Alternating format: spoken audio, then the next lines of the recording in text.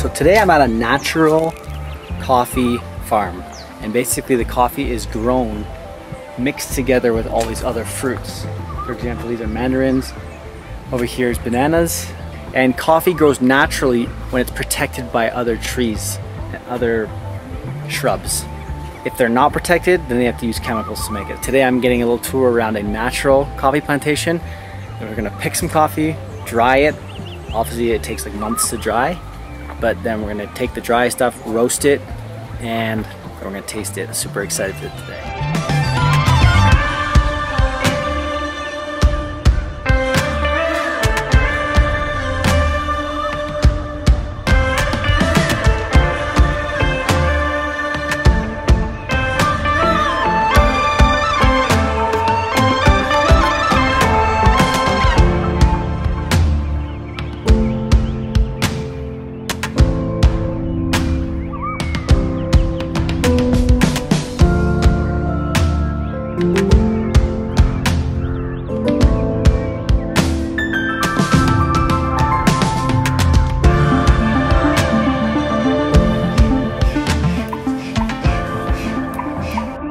Mucho trabajo.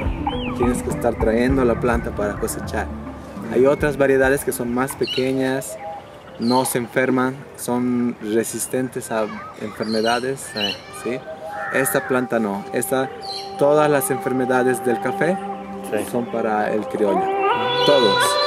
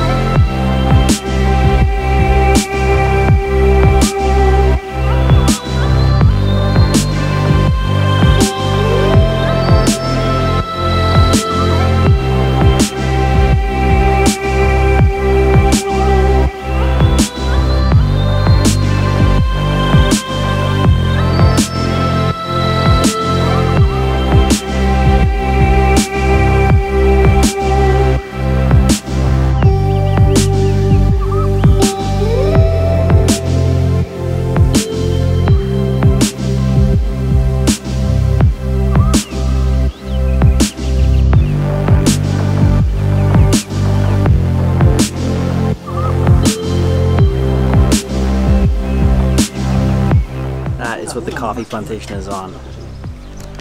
Now, my favorite part, we're gonna drink some coffee.